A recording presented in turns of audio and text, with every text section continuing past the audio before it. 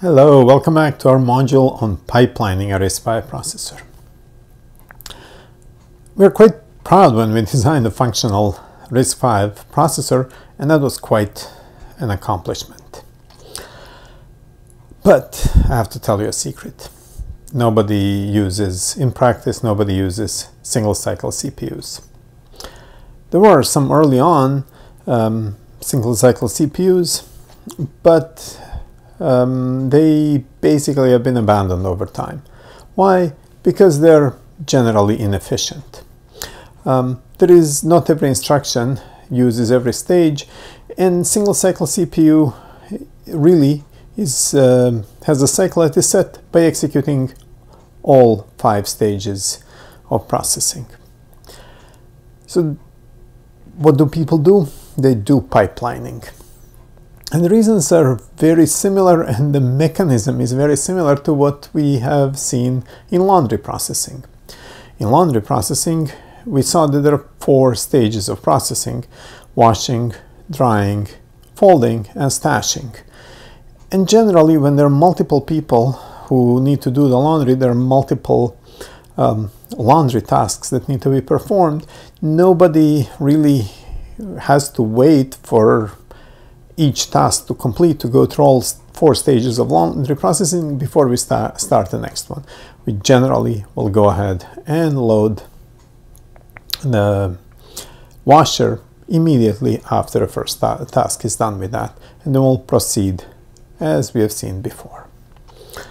The same happens in processors. Like laundry processing, data processing in processors has so far five stages. Instruction fetch, instruction um, decode with register read, ALU or execute stage, memory access, and write back. And in our example, we have put some times um, that are you know, represent that are reasonable representatives of how long does it take. Um, we said the instruction fetch takes 200 picoseconds, register read takes 100, um, ALU takes 200 picoseconds, and memory takes 200 picoseconds. Finally, register write is the same as register read, about 100 picoseconds. Notice that register read and re register write are shorter than the others. It has significance, we're going to come back to that later. So the entire executing the instru entire instruction um, is a sum of this, all of these stages, um, and uh, equal the, uh, the, time to execute the instruction equals the time to go through all of these stages, and that is 800 picoseconds. We're also using uh, a pictogram here that you'll find in uh, the textbook, in our textbook, and in some other textbooks that is trying to illustrate what is active. So when this box that represents a memory is shaded only half, and when it is shaded on the right hand side, it says that we are reading from that block. So when we are reading from the registers, we are also shading the right hand side. On the other hand, when we would like to write to the memory, we will shade the left hand side of the block and so we would do during the register write write back cycle with the registers. On the other hand, when ALU is active, we shade the whole thing. Okay, so let's take a look at our silly way or how does the single cycle CPU process data. So here is a stream of instructions, instruction sequence that we would like to process and there are a few of them. So let's say we first run into an add. We are going to run through an add as a, in, in single cycle we'll process all five stages. We'll fetch the instruction, decode it, access the registers, perform the addition operation that we figured out during the decode process.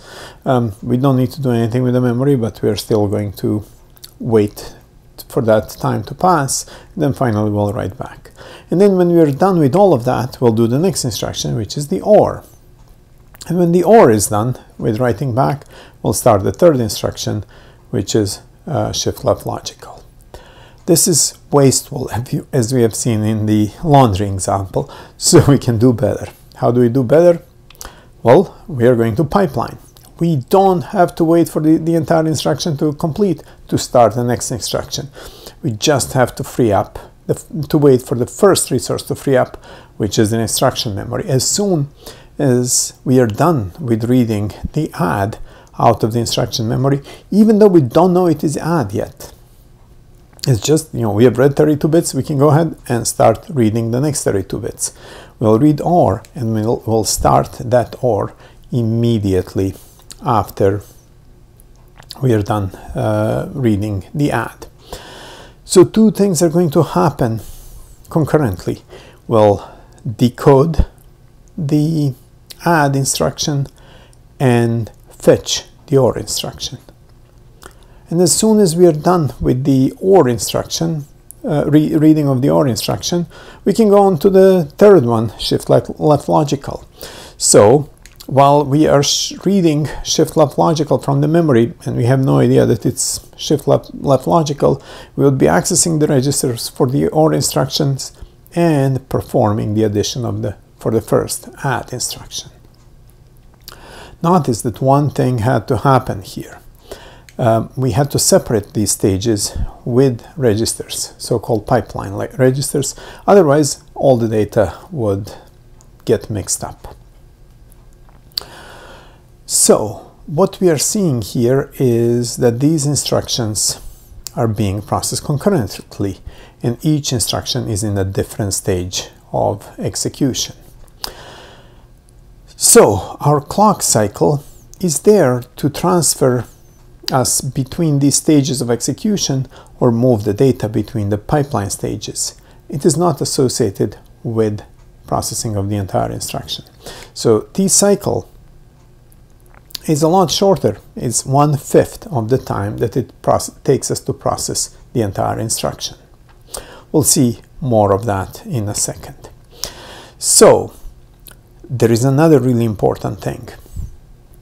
Compared to a single cycle CPU, the time to process the entire instruction is now longer. And it is longer for the reason that we have to ha set the clock cycle to match the slowest stage in the pipeline. What does that mean?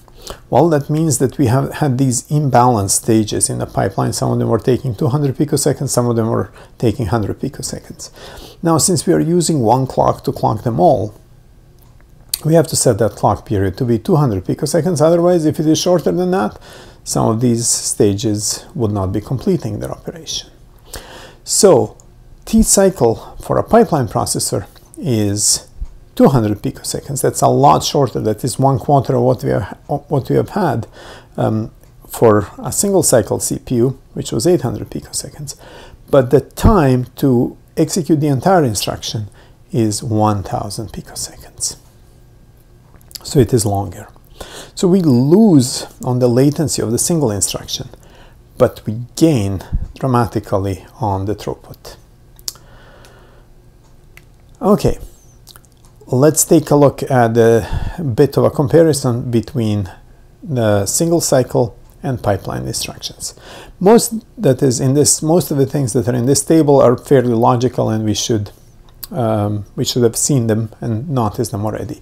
The timing per stage or per step varies in single cycle. It is fixed for all pipelined ones.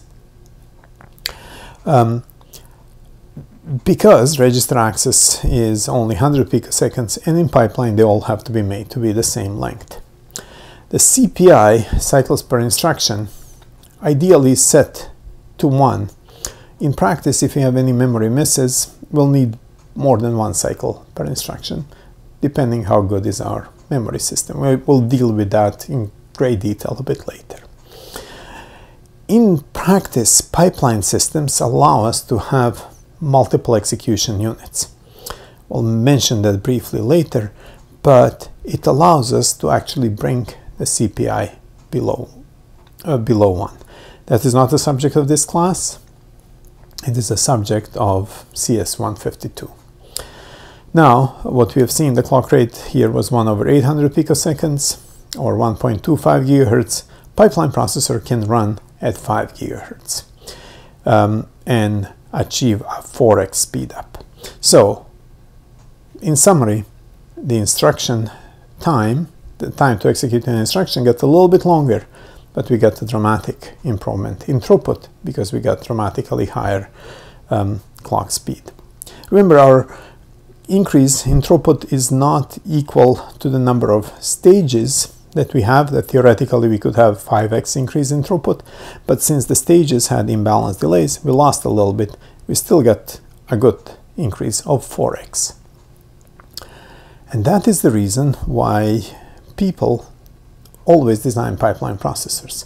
As we'll see, the design process is not logically not much more complex than the single cycle pipeline, so why not do it? Let's take a look at the moment of what is happening sequentially and what is happening simultaneously when we are executing these instructions. So we have a list here of six instructions and notice that the coloring here is showing that the add instruction is not accessing the memory or instruction is not accessing the data memory. Shift left log logical, neither that one is accessing the memory, but store word is writing into memory, so the left hand side is, is colored load word is reading from the memory, so the right hand side is shaded and add immediate is not accessing the memory. So um, we are, you know, there is not much to, to add to here. This is the time to execute the instruction. It's a thousand picoseconds or one nanosecond, and the cycle time is one fifth of that or 200 picoseconds. Now, when we would like to know what is happening here in, in sequentially, it is the usage of resources in the pipeline or stages in the pipeline by one instruction. Resource use of instruction is sequential in time. Each instruction goes through the fetch, decode, and register access, execution phase, memory access, and write back. On the other hand, multiple instructions are using different resources at the, the, the, the same time. So there are five instructions here that we will say in flight that are using different resources because they're available. So uh, these resources here, the first instruction is near its completion. So add is writing back the result into T0. Um, or is in data access stage, it's not doing anything. It's basically just waiting uh, for the add to be done so it can write back its result in T3. Shift left logical is using the ALU to perform the shift. Store word is um, um, essentially fetching the T3 and T0 values from the T3 and T0 registers such that it can use them in the store operation. Load word is just being fetched from the memory and we don't even know that it's a load. And that's it that we have to, what we need to know for now conceptually about the pipelining of RISC-V processor. It is very similar to running laundry. We're going to see what in the next module what we need to do with our data path to support that. So see you then after a bit of a break.